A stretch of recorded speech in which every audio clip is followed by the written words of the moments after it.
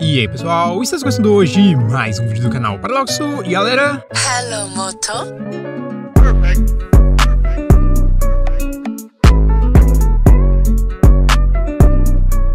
fundo, o que vocês estão conferindo, galera, é a combinação monstra aí entre o Poco F3, um dos aparelhos topo de linha aí da Poco, uma subsidiária da Xiaomi, porém o que está aqui dentro não é a MIUI, a interface deles, e sim a interface do topo de linha da Motorola, que é o Motorola Edge 20 Pro. E não é apenas o papel de parede, o sonzinho do Hello Moto característico da Motorola que mudaram a interface no geral, aqui na barra de notificações, a gaveta de aplicativos, os ícones, tudo sem usar nenhuma launcher foi totalmente modificado. Quem acompanha o canal há alguns anos deve saber que eu sempre gostei aqui da interface da Motorola, sempre preferi utilizar os aparelhos dela no dia a dia, embora hoje eu tenha acesso ao One UI da Samsung, a MIUI da Xiaomi e mesmo a interface lá do iPhone, eu ainda prefiro essa daqui por ficar um pouco mais próximo do Android puro. Tanto é que quando eu testei aquela beta do Android 12 algumas semanas aqui no canal, foi uma das melhores experiências que eu já tive com o sistema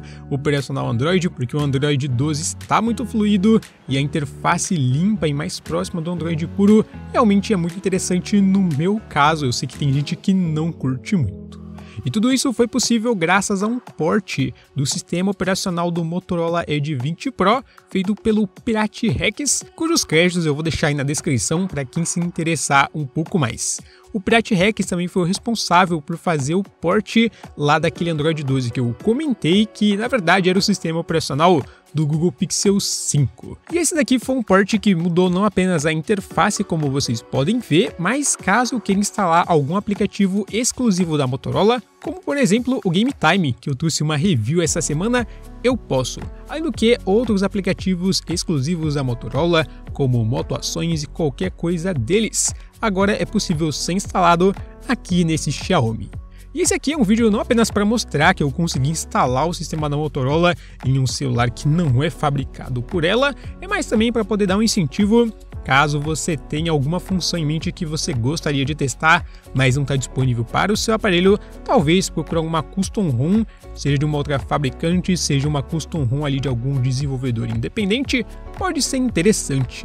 Não apenas para o Poco F3, mas vários aparelhos lançados nos últimos 3 a 4 anos graças aos projetos Treble, Mainline ou dos esforços da Google, estão recebendo atualizações tanto das fabricantes quanto também de desenvolvedores, mais frequentemente porque o sistema aqui no geral do Android está um pouco mais fácil de modificar. Nesse caso, o que eu tenho aqui é o meu Poco F3, que toda semana está recebendo algumas atualizações, algumas custom ROMs, mais alguns aparelhos um pouco mais antigos e mais fracos, como o Galaxy A10 eu tô num grupo do Telegram. Aliás, eu recomendo muito os grupos do Telegram para esse tipo de coisa.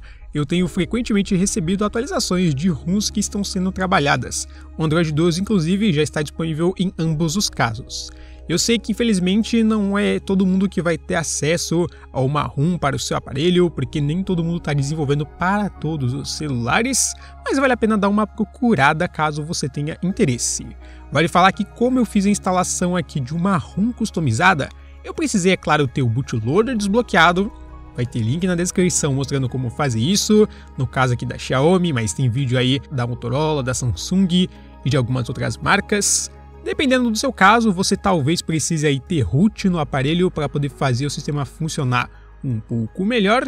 E no meu caso aqui, eu precisei usar o TWRP, mas eu precisei de uma ajudinha lá de um tutorial do Vegadata para poder utilizar o método sideload para poder instalar essa ROM. Eu vou deixar esse vídeo dele na descrição, é um canal que eu estou sempre recomendando e vale a pena dar uma conferida. Mas no geral, além de mostrar aqui essa transmutação para vocês, eu espero que esse vídeo tenha servido aí de inspiração caso você queira dar uma olhada. É claro, antes de fazer qualquer coisa, dá uma boa pesquisada, ver vídeos, ler comentários. Se você não achar material em português, Dá uma procurada em inglês aí, em grupos, em fóruns, nos XDA Developers da Vida, né? Os XDA, como já mencionei aí, grupos do Telegram, canais aqui do YouTube. Tem muito material gratuito para dar uma estudada. E quando você estiver pronto, coloca a mão na massa. Eu espero que vocês tenham curtido esse vídeo. Comenta aí embaixo se você gostaria de ver outras ROMs instaladas aqui. Quem sabe transformar esse celular aí numa torradeira, sei lá. Se você curtiu esse vídeo, não esquece de deixar o seu like. E é claro que se não curtiu, Fique à vontade para deixar o dislike e comentar o que a gente pode estar tá melhorando.